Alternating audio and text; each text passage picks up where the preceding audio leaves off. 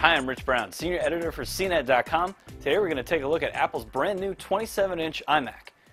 So we have here the 1999 version of Apple's new iMac.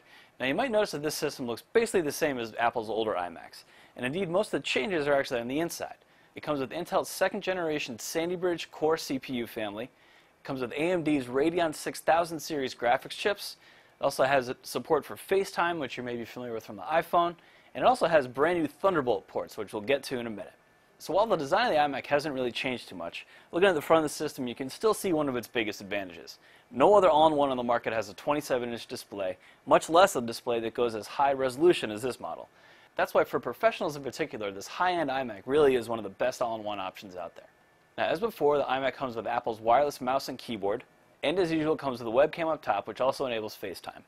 Here on the side, there's the slot-loading DVD burner, as well as the SDXC media card slot.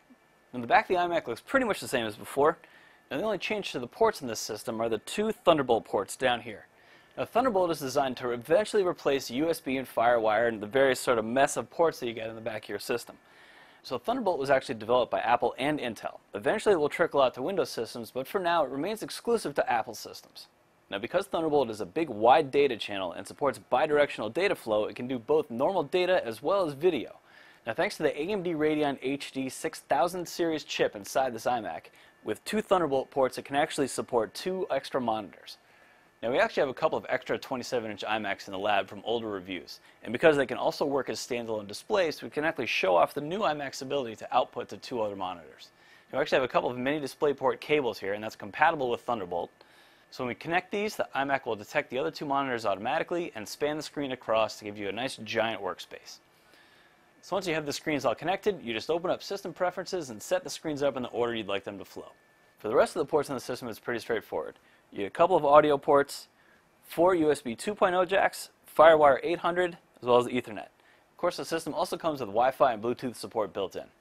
Now with the new Intel Core i5 Sandy Bridge generation CPU, this iMac is one of the fastest all-in-ones available. It also comes with a terabyte of hard drive storage and 8 gigabytes of memory. That makes the system pretty ideal for professionals with its fast performance, its large screen, and the Thunderbolt ports which are going to support a whole new generation of peripheral devices that are designed to support fast storage, multiple kinds of video outputs.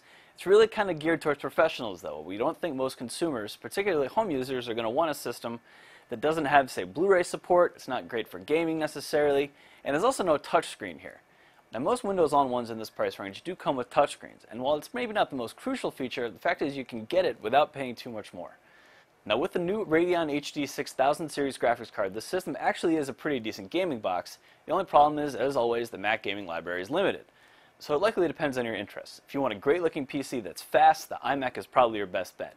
If you're looking for a more home-oriented system that can get the kids involved with the touchscreen, play some Blu-rays, or maybe even integrate with other home media devices, a Windows All-in-One is probably your better bet. That's another thing we should mention about Thunderbolt. While it's a great feature, it needs adapters if you want to connect an external HDMI device, making it a little bit hard to integrate this system with your other home entertainment components.